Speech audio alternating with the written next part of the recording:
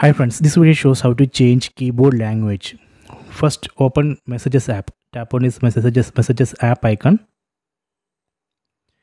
Then tap on this search box. Now we can see a keyboard. Tap on this keyboard settings icon. Then select languages and types. Then select manage input languages. From this list, we can select the languages which we want to enable. Let me enable Hindi and Kannada. So now I have enabled three languages, English, Hindi and Kannada. Then go back, go back, go back to keyboard. Now here we can see a language button. Tap on that language button. See now language has changed to Hindi. Again tap on that language button. See now language has changed to Kannada.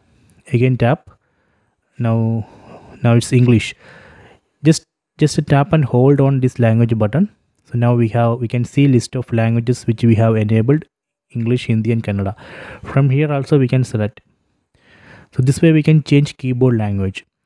If you want to disable or delete the language which we have enabled again go to keyboard settings tap there then tap on languages and types then select manage input languages then from this list we can disable it.